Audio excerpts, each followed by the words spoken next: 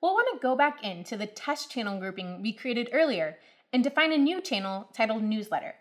So to do so, we're going to click on that test channel grouping. And for the purposes of this video, I've actually already created this channel, but let's click in and see what's in here.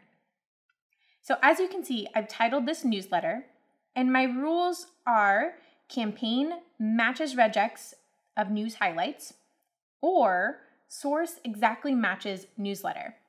So when I'm happy with the settings I have here, I can click done, and it will now save that new channel uh, to the top of the list. So as you can see, newsletter here, top of the list.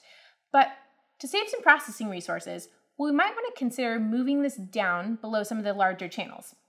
We'll want to put it right above email since we first want to process newsletter emails separately from some of our other emails. So to do that, I'm going to scroll over to the left-hand side of it, get it in my crosshairs, and move it right on down to line number four, right above email.